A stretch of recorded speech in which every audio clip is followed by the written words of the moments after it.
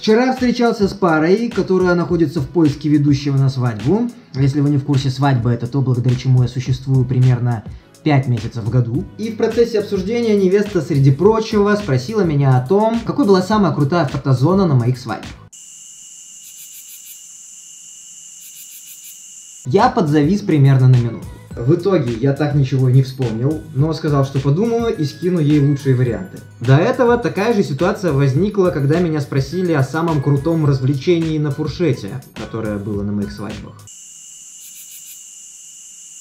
Что наводит меня на мысль о том, что ведущий я паршивенький. Но вместо того, чтобы сесть, вспомнить самые крутые идеи, зафиксировать их и больше не попадать в такие ситуации, а быть полезным людям, я решил рассказать о м, том, что я вспоминаю, когда меня спрашивают о самых крутых свадебных моментах.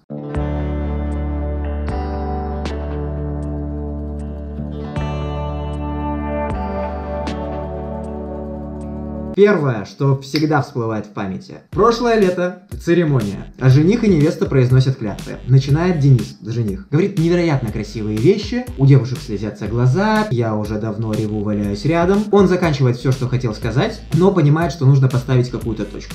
Он смотрит по сторонам. Секунд пять полная тишина. Потом он переводит взгляд на невесту. Раунд! И отдает ей микрофон. Пач! Была там фотозона, не было фотозоны, я вообще не помню.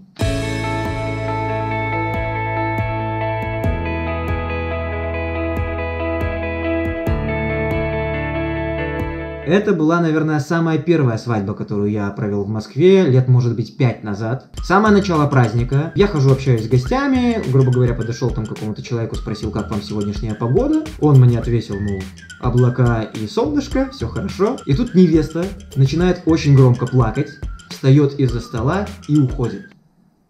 Я вообще потерялся, я думаю, что не так происходит вообще. Подняли за что-то бокалы, выхожу к ней. Говорю, что случилось? Я, я сделал что-то не так, я, я как-то тебя обидел, мы как-то расстроили тебя. Все в порядке, не обращай внимания. Я и так долбанутая, тут еще беременная, гормоны. Сейчас порыдаю немного и вернусь. Я больше вообще ничего не помню с той свадьбы.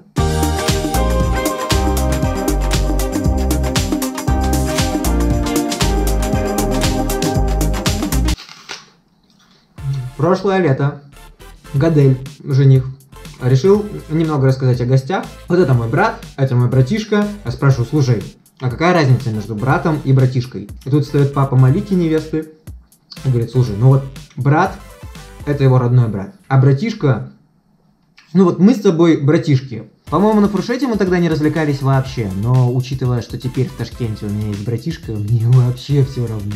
Сначала я подумал, что с яблоком это будет выглядеть более естественно, но теперь просто захотел его съесть.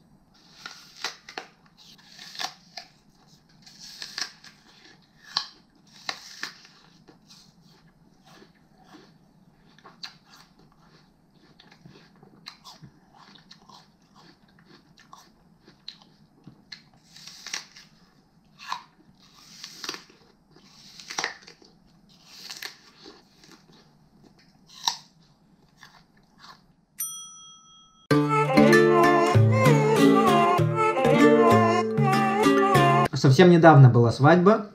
Провожу игру с женихом и невестой, где они должны одинаково ответить на одни и те же вопросы. Спрашиваю Машу, чего боится Миша? Ну, наверное, каких-то больших насекомых, там, типа здоровых комаров. Спрашиваю Миши, чего ты боишься? Я боюсь, что исчезнет хип-хоп. До конца свадьбы я ходил и думал только об этом.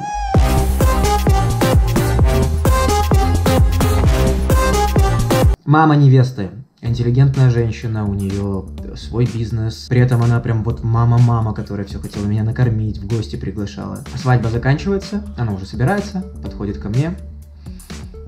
Знаешь, свадьба получилась пиздатая. Во-первых, очень приятно, что ей понравилось. Во-вторых, э, лично я позволяю себе мат только когда понимаю, что рядом человек, который воспримет меня правильно, человек, с которым мы на одной волне. И очень приятно, что в тот момент для мамы я стал таким человеком. Вообще, насколько я помню, родители только два раза использовали нецензурную брань в общении со мной. Второй раз это был папа. Ну, папа уже был неплохо припитый. Он подошел ко мне и начал наш диалог с фразы «Ну, Пиздобол ты, конечно, неплохой. Но вот мой товарищ там, Колька, вот он, конечно, ну, выше тебя на пару голов. Но ты неплохой. И, наверное, минут пять он меня то, то нахваливал, то снова опускал ниже своего Кольки. Прикольно.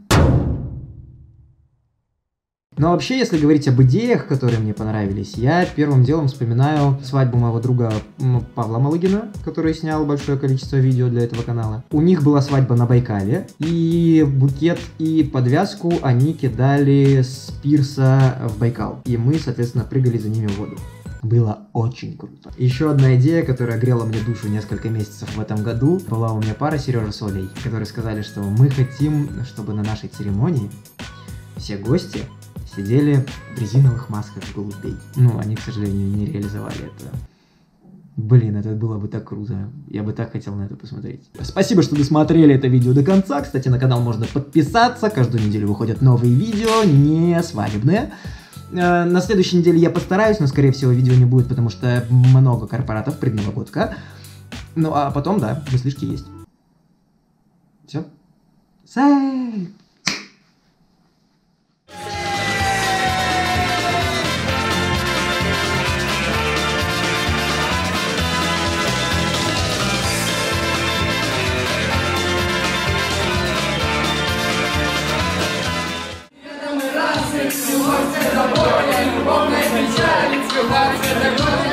текущим моментом, любовь это кровь текущим моментом. Она так стонала, она так кричала, я чувствовал тело.